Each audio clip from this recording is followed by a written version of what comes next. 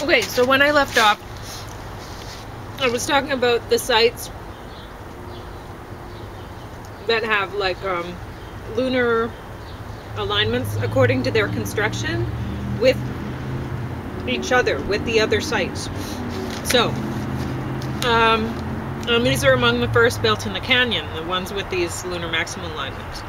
And um, along east and west ends respectively. Uh, another long distance alignment connects Penasco Blanco with Una Vida, are two very early great houses along the lunar maximum line, and those two are 6.2 miles apart. Extending the other direction along the lunar maximum line from Penasco Blanco, you hit Kin Bineola again, 9.3 miles away. A lot of prof profs cast doubt on the Solstice project findings. I already mentioned that. In 1888, though, a well-known archaeoastronomer named John McKim Mac Malville led a field school in the ruins of Yellow Jacket and also studied Chimney Rock in the mountains east of Durango, Colorado. The site had Chacoan core and veneer architecture and was built on high a high ridge under twin towers of stone and the towers were natural with Chacoan community beneath. So the towers are rock, natural rocks, right? And so it looks like the the people saw these towers and went, ah, we need to build near here. But why? Because there's like the materials had to be dragged up steep mountainsides and it was far away from farmable land. So there was no other reason for this community to be there but the twin rocks. This was important to them. So this was a site that drew, drew them to this area for other reasons. I mean, the building materials, they were showing their little community and it's impressive rocks, drag that up. anyway. So they really wanted to be there. And uh, as it turned out, 1988 was a lunar maximum year. So at 2 a.m., the full moon rose between the towers. And it was proven that it, it was a lunar observatory. So um, tree rings date Chimney Rock's construction to the late 1000s, lunar maximums at 1056-57, 1075.76 and at 1093.95. Um, maybe I wrote that down wrong. Uh, they occurred at full moons closest to winter solstice. First Kiva tree rings cut 1076 and then 1093 was when a second expansion was built and so um, the instructor's thinking that perhaps building uh, Chaco Great Houses was the ritual itself, or part of it. Uh, 800 to 900 CE is the earliest dating of the area. Lecture 21, the periphery of the ancient Southwest. Uh, um, people live where natural resources are, water and arable land, and further south weather was more extreme. So at the time, they called the desert, this desert the Chichimeca and the people who lived there were nomads, uncultured desert warriors. Um, Pecos and Rio's Rio Grande rivers meet uh, at intersection who'd been there a thousand, thousands of years. Land not good for farming in lower Pecos. Lived on wild plants, fish, small animals. In today's West Texas, even more barren. Habited today due to oil and cattle. Rings of rock, teepee rings in spots. Um, boy, Jornada Mogollon? I don't know what I was writing there. Harsh. Sporadic pit houses and attempts at farming. Hueco, Bolson, um, Firecracker, Pueblo. 200 year floodplain farmed, but abandoned in 1400. Relied a lot on hunting gathering. Hunters from north inhabited the area, not farmers from the south. Southwest cultures weren't very warlike late period cultures of Pacific Coast, complex hunter-gatherers along Pacific Coast. They never adopted farming. Abundance of natural resources. One-fifth of population lived along this coast. It was also the most culturally and linguistically diverse area. They had little use for pottery. This was a Garden of Eden, sedentary living, seasonal rounds or trade, sharing of resource or resource distribution, tribelets, 100 people speaking one language. South California life seemed to have been the same for hundreds or thousands of years. 500 CE to uh, dated objects. 1542 European contact, 1769 colony in San Diego. Chumash, one of largest groups, population and controlled more desirable land. Yokut had more land though. They made sure areas they used weren't overused. Acorns in summer and fall they stored. Shellfish was a major food source. Deer bones found on Channel Islands. Leaching of acorns, boiling and drying for storage. Bow and arrow, inland hunting, and security. Tomol was 30 foot long canoe. Um, what I wrote there, log and tar-like waterproofing and stitching. Chumash used Tomol for deep water fishing and control of Channel Islands. 700 CE Chumash sites found, dome-shaped homes made of willow branch frames covered in grass. Two major festivals, winter solstice and fall to honor harvest. Chief positions were hereditary and unattainable for others in Chumash society. Male homosexual transvestite class honored, two wins.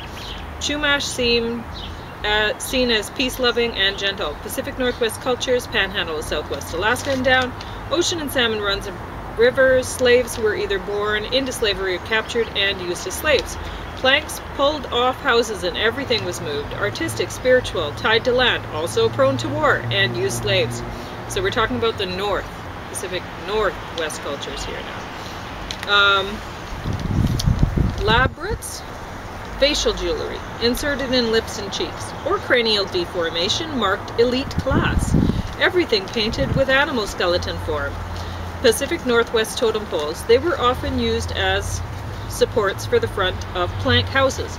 Potlatch marked erections of new totem poles sometimes. Chiefs often threw valuable objects in the ocean to show conspicuous consumption.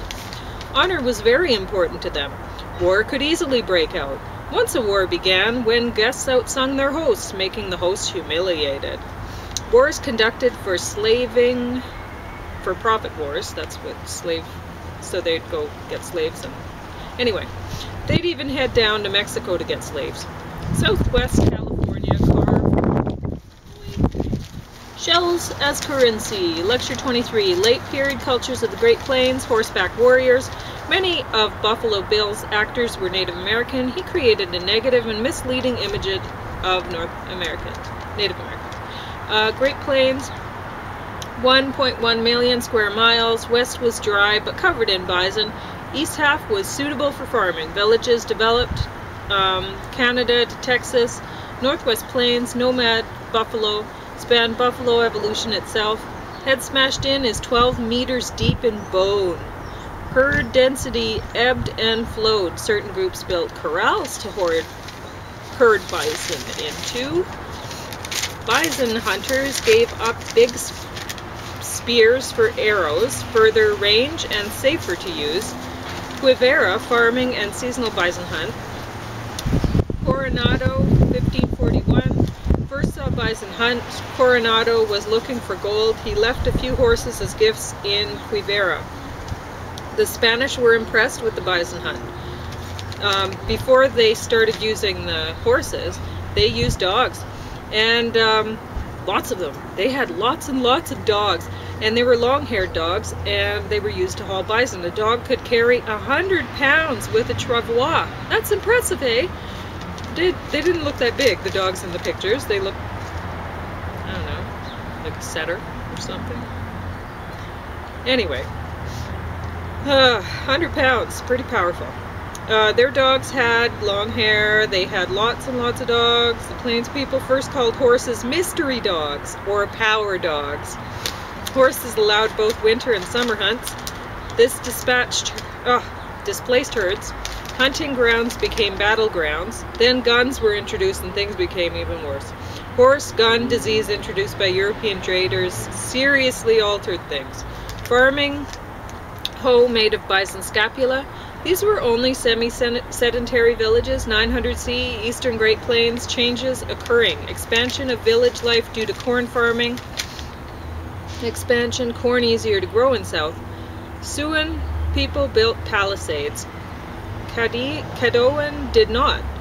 House form changes from rectangular to circular lodges. Why? Oakhill Village, 42 circular houses, 1250. Rectangular built, 1150. Cahokian by 1400 hmm, people settled into about the same places they were found in at contact. That's European contact. Caddo, Caddo speakers were Pawnee. Ar Arikara in north, but speaked Caddoan. Migrated there? Introduced circular houses. Winter counts kept and preserved on bison skins, and then on paper. Men did hunting and women did the farming. James Murie had a white dad, soldier, and Pawnee mother. Sacred bundles owned and cared for by chiefs. Owner imbued with magical powers. Ancestral things in bundles. One um, one bundle that Murie saw had an ancestral skull in it. Uh, the priest knew what to do with the objects in the bundle. Peach priests watched cycles of Mars and Venus. And this involved the capture of a girl from a neighboring tribe. And it was not good. Um, girl was tied naked to scaffold. And um, when Mars rose, the girl was shot full of arrows and sacrificed. So this was just, this is what they did. Um, and uh, then Europeans um, witnessed it and they did not think it was very good. So that was in uh, 1838, that was the last girl that was sacrificed in that way. It was um, because the Europeans shut that practice down. So 15-year-old um, Sioux, it was some other, James knew the name, but it was something that I didn't recognize and I didn't write down, but it was some specific type of Sioux girl. 15-year-old um, was killed that way, and that was the last one. So, or last recorded one, the last known one.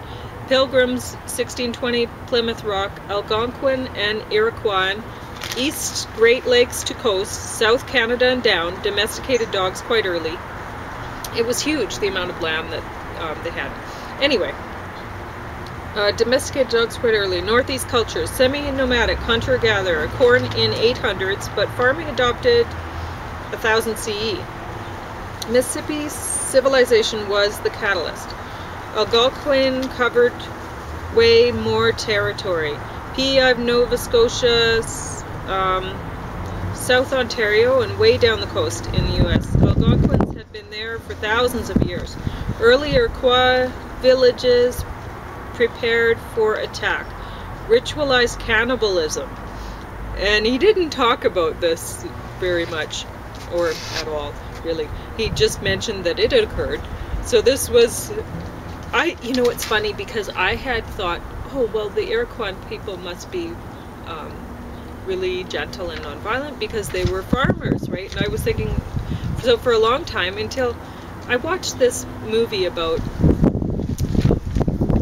Iroquois people, and I, and well, it was set back anyway. And I thought, how could that be? Because farmers. And uh, so I don't know. Sometimes you have some ideas about people, and you think, oh well, um, you associate one thing with another, and not correctly so. And so anyway, ritualized cannibalism. Agriculture may have made life worse, not better. Forests cleared for farming. They moved villages frequently, 20 to 50 years in one place only. Draper Village, 20 acres. The bigger the village, the faster resources depleted. They formed a confederation of five tribes, the Great League of Peace. These were not a peaceful people. Um, the five nations were the Seneca, the Cayuga, the Onan Onondaga, the Oneida, and the Mohawk. Each nation lived in separate territory within the modern state of New York. Mohawk guarded east door, Seneca guarded the west door. The Onondaga were the keepers of the central fire, the place where the Great Council met. Fifty chiefs, Sachem, represented their nations. Those Sachem were elected representatives of their clan, voted into the, their positions for life by clan female elders, the matriarchy of each matrilinear longhouse. So it's considered to be the de first democracy in America, but it's really not. Like, it's just the female elders who vote in certain people, right? So anyway, um, and they could vote them out. So peace did not extend beyond the Confederacy to other groups. Um, they were hostile and expansionistic, these people. So anyway, wampum, belts of shell beads, read from right to left, sometimes used as trade currency since beads had a value of their own. Long darkening of sun on first day council met, doesn't appear to fit with solar eclipse date though. Vikings Vinland just before a, a thousand CE. 985 Viking colony of Greenland. Vinland in Newfoundland. Vikings repeatedly visited between then and 1300. 1497 Cabot visited, found cod, evidence of habitation but didn't find people. 1524 Giovanni, I didn't know who he was. So you might want to look that up. Uh, sent by French. Cart Cartier, 1535-36, mapped out St. Lawrence River, met Iroquois. 1603, Champlain, Beaver Wars with Iroquois. Uh, Squanto was an English-speaking man who had been kidnapped, become a slave, and lived in England, finally to return home to America to find his people all dead. Apparently, he was the guy the Pilgrims had Thanksgiving with. I don't know. Anyway, so that's what I learned from watching that. But it looks to me like the people who live down in Southern California, totally peaceful. And, well, it honestly, a few more people than that I've mentioned, right? And um, in previous videos I've talked about it. And it looks like the um, people that were along the coast, the Algonquins, they were pretty much minding their own, and it looks like they had been there forever, for a long, well, I don't know, for, I don't know, but um, for a long time. And it looks like the Iroquois moved in, and they were not very, not very friendly neighbors. Um, anyway, but so uh, I really enjoyed watching that. I would highly recommend everybody do it.